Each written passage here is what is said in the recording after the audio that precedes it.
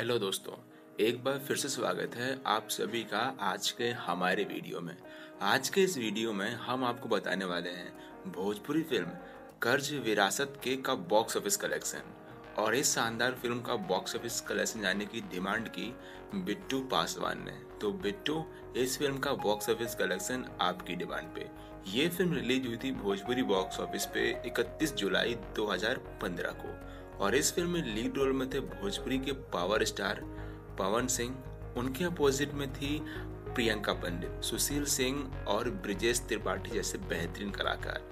दोस्तों, ये film south की रीमेक थी जो कि भोजपुरी में बनाई गई थी। साउथ में भी इस फ़िल्म ने अच्छा कारोबार किया था और भोजपुरी में भी इस फ़िल्म ने काफ़ी अच्छा कारोबार किया था। इस फ़िल्म की स्टोरी लाइन इस फ़िल्म की कहानी दो भाइयों की है, जो कि बचपन में एक हादसे से एक दूसरे से अलग हो जाते हैं, और फिर वो भाई कैसे एक दूसरे के खिलाफ खड़े हो जाते हैं, और क्या परिस्थिति होती है, क्या सिचुएशन होती है इन दोनों के सामने, यही है इस फ़िल्म की कहानी। इस फ़िल्म का बॉक्स ऑफ़िस कलेक्शन जानने से पहले हम आपको बता दें, जो कलेक्शन हम आपको बताएँगे, वो ना सिर्फ़ यूपी बिहार और झारखंड का होगा बल्कि all over the India plus Nepal के थिएटर्स का भी होगा।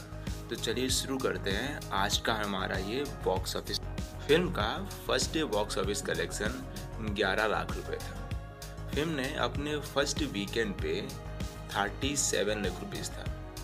फ़िल्म का first week collection 79 lakh rupees था। इस फ़िल्म का lifetime box office collection 6.78 crore था। इस फ़िल्म का बजट था 1.89 करोड़ और ये फ़िल्म भोजपुरी बॉक्स ऑफ़िस पे सुपर हिट रही थी। दोस्तों, अगर आपको ये वीडियो पसंद आया तो लाइक ज़रूर करें। और अगर आप भी जानना चाहते हैं किसी फ़िल्म का बॉक्स ऑफ़िस कलेक्शन तो कमेंट बॉक्स में ज़रूर लिखें। थैंक्स फॉर वॉचिंग मिलते हैं किसी और फ़िल्म के बॉक्स ऑफ़िस कलेक्शन के साथ। जब तक कि देखते रहिए एंटरटेनमेंट फॉर यू